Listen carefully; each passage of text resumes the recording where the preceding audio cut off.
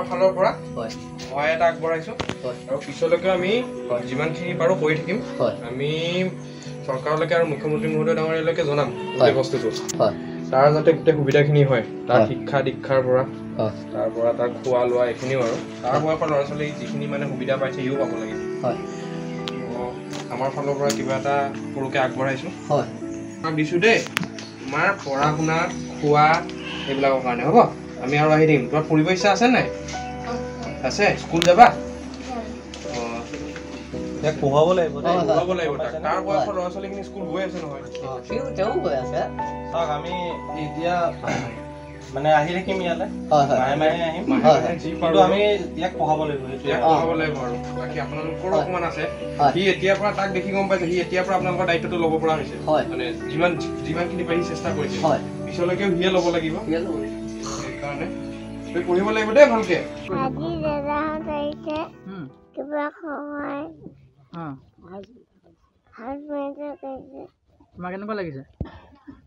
ভাল লাগে তোমাৰ পঢ়িব মন আছেনে? আছে। পঢ়া শুনা কৰিবা ভালকে? কৰিম। এতিয়া পঢ়া নপঢ়া? পঢ়োঁ। ক'ত পঢ়ি আছা?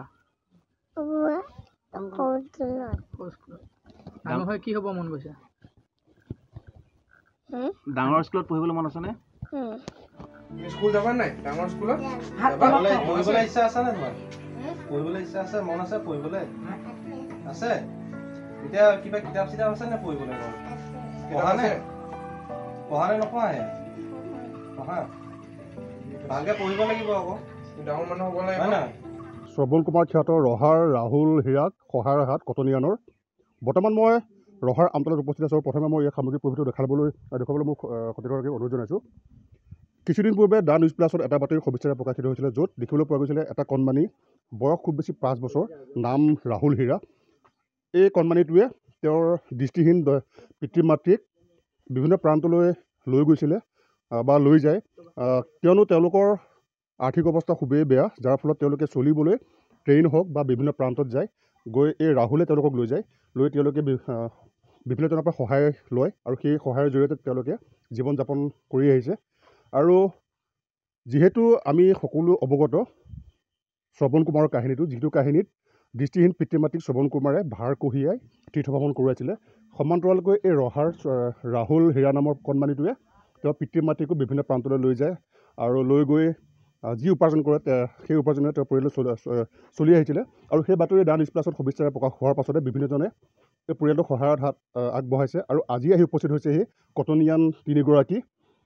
তেওঁলোকে এই ৰাহুল হীৰাক আহ, বাহিৰত আহি উপস্থিত হৈ বিভিন্ন প্ৰকাৰে তেওঁলোকক সহায়ৰ হাত আগবঢ়োৱাৰ প্ৰতিশ্ৰুতি দিছে। এইখিনি সময়ত সেই তিনিগৰাকী কটনিয়ান আছে মই তেওঁলোকৰ মন্তব্য ল'ম। কি ক'ব? হয় আমি কটন বিশ্ববিদ্যালয়ৰ ছাত্ৰ। ৰাহুলৰ নিউজটো প্ৰথম মই আপোনাৰ সংবাদ মাধ্যমৰ যোগেদিয়ে গম পালোঁ। গম পাই আমি বন্ধুকেইজনৰ মাজত আমাৰ আলোচনাও হ'ল আৰু তাৰ গোটেইখিনি পৰিস্থিতিটো অধ্যয়ন কৰি তাৰ বয়সৰ ল'ৰা ছোৱালীক মই পঢ়াওঁ। তেনেকুৱা বহুত বিভিন্ন ধৰণৰ ছাত্ৰ ছাত্ৰী আছে যাক মই পঢ়ুৱাওঁ। তো তেওঁলোকৰ পৰা কিছু কিছু মানুহ মাননিও পাওঁ।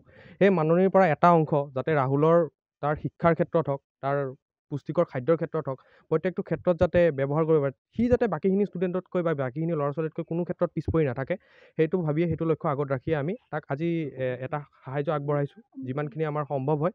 আৰু সময়ে সময়ে আমি তাৰ কাৰণে যিখিনি কৰিব পাৰি তাৰ শিক্ষাৰ উত্তৰণৰ ক্ষেত্ৰতে হওক তাৰ খাদ্য তাৰ স্বাস্থ্যজনিত কাৰণতে হওক আমি যিমানখিনি পাৰোঁ সহায় কৰি যাম। আৰু আপোনালোকৰ সংবাদ মাধ্যমৰ যোগেদিয়েই মই অসমৰ মাননীয় মুখ্যমন্ত্ৰী মহোদয় আৰু অসম চৰকাৰক এক অনুৰোধ জনাইছোঁ যে এই পৰিয়ালটোৰ সংস্থাপনৰ কাৰণে যাতে তেওঁলোকে এক উচিত ব্যৱস্থা লয় যাতে সিও সপোন দেখিব পাৰে। আমি আপোনালোকে দেখিব পাৰে যে মাক বাপেকক যিদৰে আগুৱাই নি আছে মাক বাপেকৰ প্ৰতি তাৰ এটা দায়িত্ব আছে। আৰু সেই দায়িত্বটো তেতিয়াহে সাকাৰ হ'ব যেতিয়া সি শিক্ষাগত ক্ষেত্ৰত আগুৱাই যাব পাৰিব। তো মুখ্যমন্ত্ৰী মহোদয়লৈ আমাৰ বিনম্ৰ অনুৰোধ তাৰ যাতে এক স্থায়ী সমাধান তেওঁ কৰে। ধন্যবাদ আপোনাক দেখিবলৈ পোৱা গৈছে তিনিগৰাকী কটনিয়ান আছে এগৰাকী আন এগৰাকী আছে কি ক'ব? হয় আমি যিহেতু এনেকুৱা সৰু ল'ৰা ছোৱালীৰ লগত জড়িত হৈ আছোঁ গতিকে আমি বিচাৰোঁ মানে ৰাহুলো এই ক্ষেত্ৰত পিছ পৰি থাকিব নালাগে আৰু সেইকাৰণে আমাৰ এটা সৰু প্ৰচেষ্টা আমি আহ, থকা দিনবোৰতো ৰাহুলক এনেকৈ সহায় কৰি যাম বুলি আমি ইতিমধ্যে সিদ্ধান্ত লৈছোঁ। আহি থকা দিনতো আমি যিমান পাৰোঁ আমাৰ ফালৰ পৰা ৰাহুলক সহায় আগবঢ়াই যাম।